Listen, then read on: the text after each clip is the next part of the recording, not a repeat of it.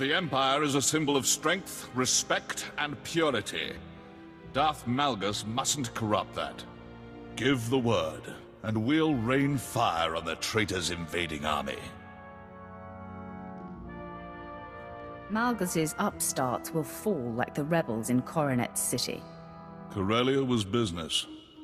This is personal. Once we're over the battlefield, I'll drop you in the trenches. After that, I will provide air support. Now, to battle. Malgus the Betrayer will fear the Empire again.